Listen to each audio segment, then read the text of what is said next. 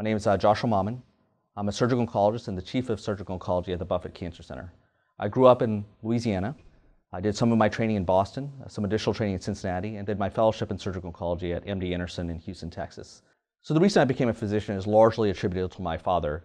He's a small town general surgeon in Louisiana. And I saw the tremendous impact that he had in our community uh, in Kaplan, Louisiana. And I really wanted to emulate what he was able to accomplish by helping our friends, our neighbors uh, in our community. Like many others, I have family members and friends who have had cancer and unfortunately suffered the consequences of cancer.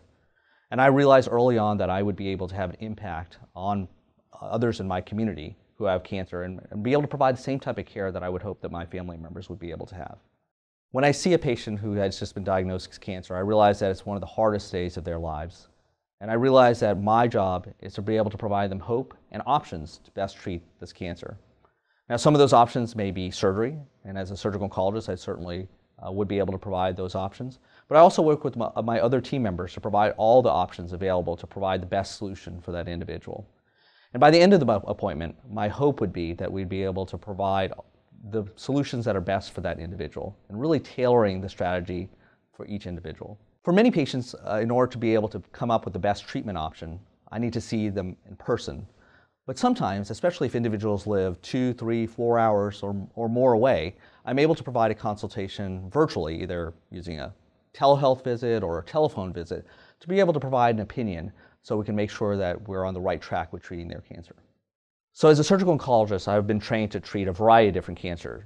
The two groups of cancers that I treat the most are skin malignancies, specifically malignant melanomas, Merkel cell cancers, sweat gland carcinomas, which are even more rare.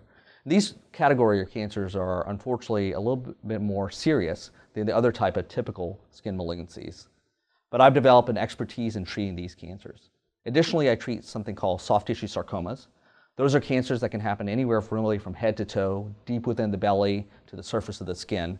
There are more than 50 different types of soft tissue sarcomas, and I've developed an expertise in treating those cancers as well. One great thing about academic medicine, and particularly about uh, Nebraska medicine, is that I have great colleagues who are also experts in cancer care.